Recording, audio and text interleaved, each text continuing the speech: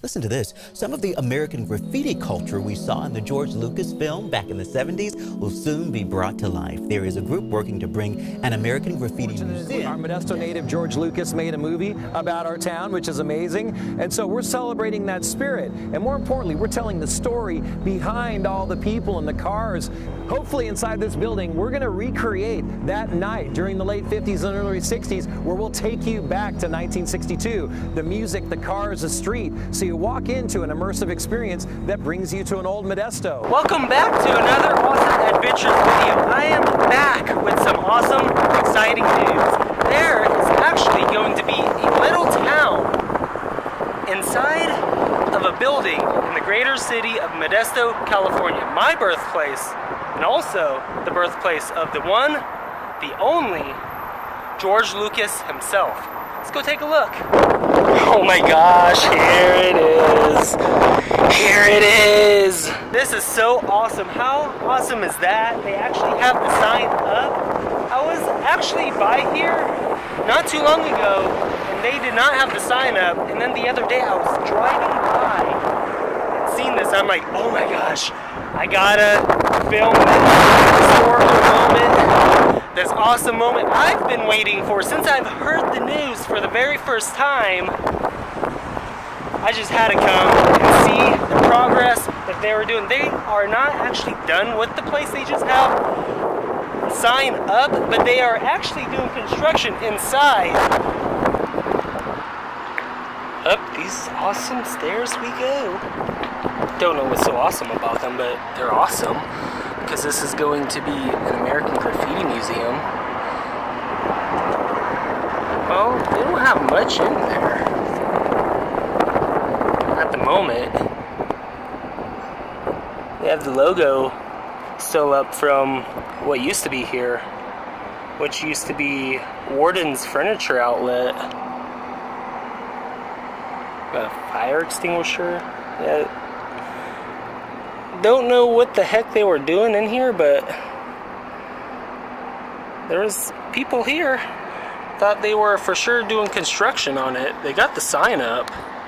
How awesome is that, that they are actually going to replicate downtown Modesto inside of this building right here on what it was like to live in the 1960s. I just can't wrap my head around this. Classic Car Museum coming soon amazing.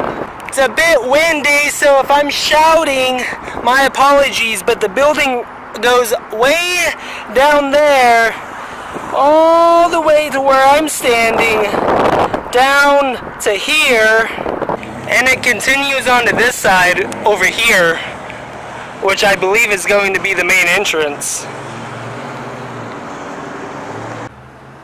They even left the open sign from the old business that used to be here. Now let's take a look inside of here from this angle of the building.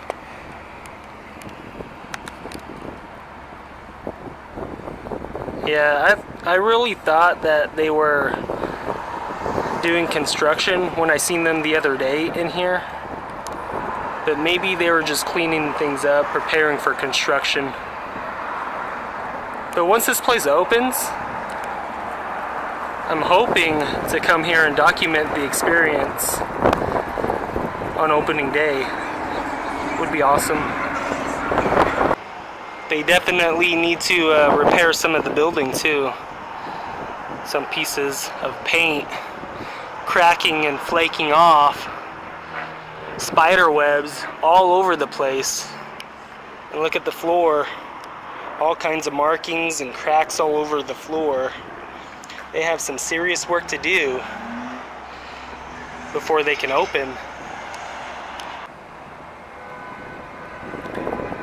It's a pretty big place. It's pretty huge inside.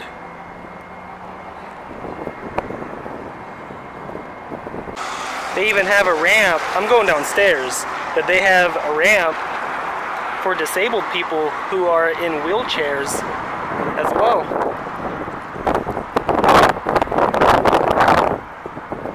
Then they have another set of stairs, which I went up a few minutes ago over there where my tripod is at. Probably shouldn't leave my tripod unattended for too long. Don't want someone to come and pick it up. I think it's awesome that it's going to be in this building right here because literally right down the street on 9th Street, this is Coldwell and on the other side of the light is Woodland.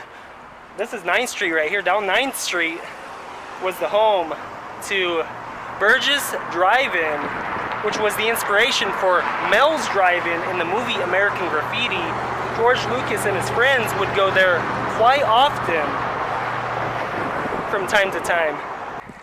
And if you guys want to come and visit the progress of construction, here's the address 610 North 9th Street, Modesto, California. Or you can just wait until construction is completed and they open to the public.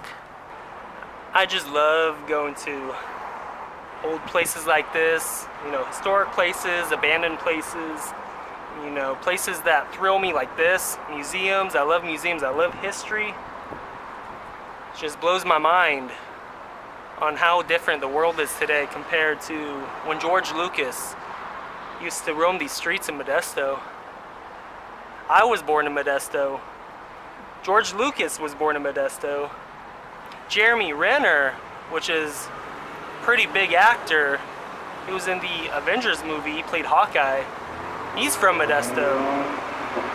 It just blows my mind. It's mind blowing. Not sure what the significance of this gate is right here. As I was saying earlier, this is the other half of the building right here. So you go from the first part of the building where we were just at, you cross through that little little corridor right there in the center. Then you leap over to this building right here. I'm not 100% sure if they are going to turn this half right here into the American Graffiti Museum or if it's just gonna be that half. Probably just that half since being they only have the logo on that side. But it would be cool to see both halves turn—that'd be a pretty freaking big museum. Not sure exactly why I brought my tripod along. I didn't even use it. Oh my gosh! A relic of the past right there! Right there! A relic of the past! Some railroad tracks. There's railroad tracks underneath of this concrete. So that just tells me a railroad used to go right through here. And there's the current tracks today. pretty interesting. History is interesting. They are letting me know that I am in the USA and that there is no city. They forgot the I on city. Not sure what PVT Pro stands for.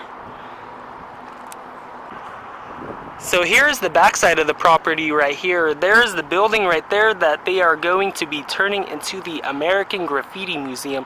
Not sure why the backside of the building is like a tan color, if you've noticed, and the front side is like white and blue.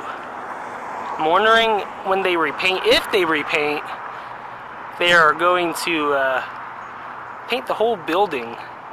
And there's the other side over there, like I was talking about earlier. See, I think someone else has that side of the property, so I am not 100% sure if they are turning that side into the museum. Do a little research for me and, and leave it down in the comment section down below if they are turning both sides of the building into the museum. Well, my friends, this is it. This is going to conclude today's awesome adventures video.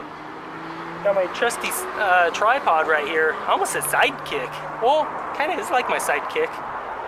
Even though I didn't really use it today. Never know when you're going to uh, need a tripod. Especially filming awesome places like this right here, right behind me. Hope everyone's staying safe and healthy during this pandemic, these crises, these hard times. Remember, we are all in this together. Kind of sucks for vloggers like me because I can't even go out to a museum or to something awesome that has a big crowd, especially being that they are all closed. So this is the closest thing right here to it. Anyways, if you are new here, you just happen to stumble upon these awesome videos, please subscribe to this channel and hit that bell notification. It will notify you guys when the next video is out on this platform.